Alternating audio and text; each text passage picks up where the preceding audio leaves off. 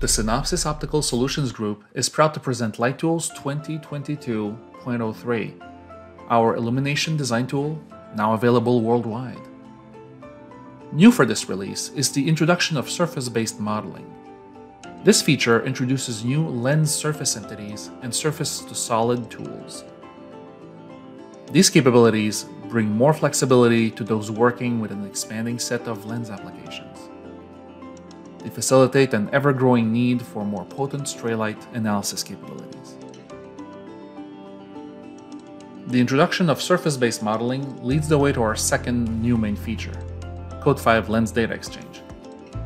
This allows for more seamless file transfers and interoperability between CODE V and LightTools. This is leveraging the new optical system file, which is a new file format, for this very reason.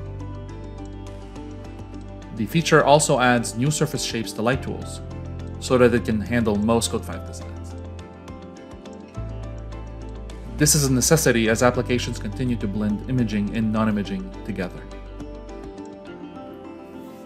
This version of LightTools also introduces a new module, the Smart Start library. Smart Start is an ever-evolving material and optical properties library, as well as a material measurement strategy. This goes hand in hand with our growing collection of measurements, services, and devices. The Smart Start library module allows Synopsys to expand available measurements of materials, release by release, across multiple platforms.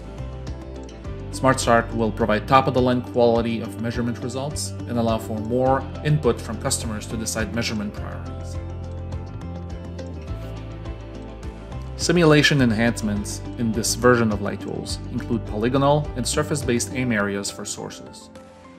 Other source enhancements include new source apodization distributions, monochromatic source spectrums, and setting a source's polarization. Coherence-based simulations have had some additions as well, as have the grating optical. On top of a slew of usability improvements, LightTools 2022.03 contains new and improved utilities. The new Human Tissue utility allows you to create accurate representations of 17 human tissue types as user materials, with options for customization for specific conditions.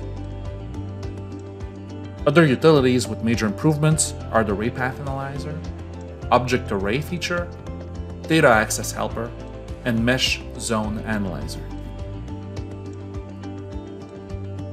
LightTools 2022.03 offers much in terms of new optical geometry handling, interoperability, and surface modeling capabilities.